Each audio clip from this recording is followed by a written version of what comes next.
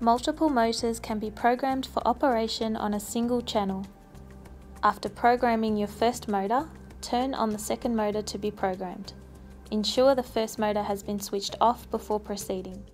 Program the motor by following the programming in 5 simple steps sequence. Step 1. Pairing a motor to a remote. Step 2. Check the blind direction. Step 3. Activate limit setting mode. Step 4 set the upper limit first, and step 5, set the lower limit. After programming the second motor, turn the first motor back on. The two motors are now programmed to the same channel and can be operated simultaneously. Multiple motors can be programmed on different channels using a multi-channel remote.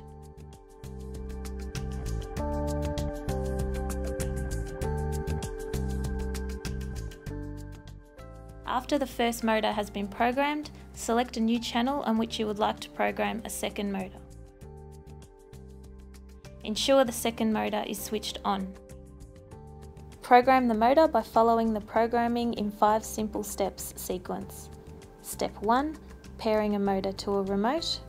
Step 2. Check the blind direction. Step 3. Activate limit setting mode. Step 4. Set the upper limit first and step 5, set the lower limit.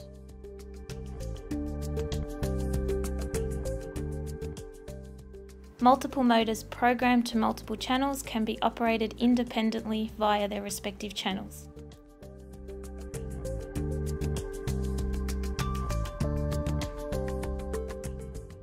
Select channel 0 on the remote to operate all blinds simultaneously.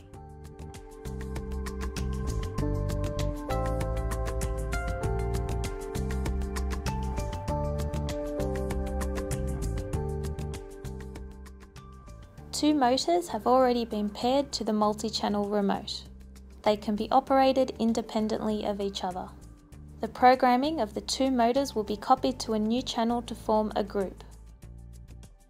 Ensure the channel you wish to copy is selected. Press the P2 button twice.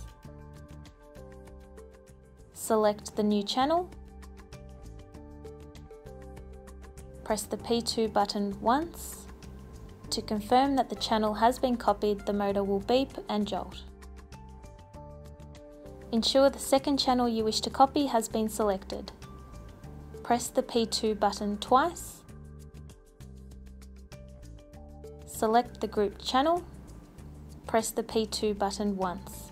To confirm that the channel has been copied, the motor will beep and jolt. The programming of two different channels can now be operated simultaneously via the additional group channel.